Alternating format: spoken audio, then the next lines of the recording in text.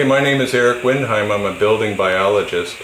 We're here at an apartment complex in Folsom, California, and we're looking at some SMUD smart meters.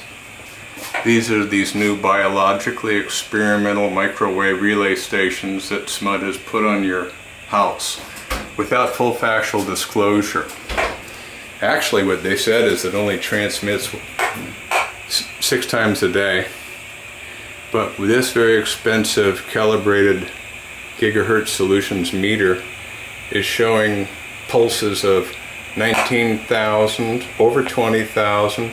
We're going to zero it out.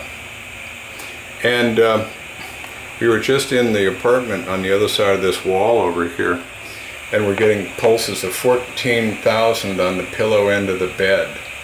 So when people feel sick around a smart meter, it's due to the extremely short but extremely powerful pulse.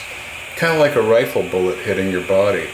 It doesn't last very long, but it's very powerful and it produces a huge amount of cellular disruption, including calcium channel disruption, voltage-gated calcium channels, uh, dopamine level changes, endorphin level changes, headache, fatigue, insomnia, nightmares, heart palpitations, depression, and suicide.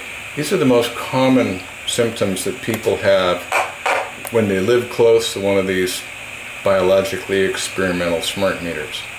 Okay, the levels we're getting here are are 12 to 20 times over the uh, building biology extreme concern levels. So that's enough. I'm going to recommend to this client that she shield her entire bedroom wall with reflective foil.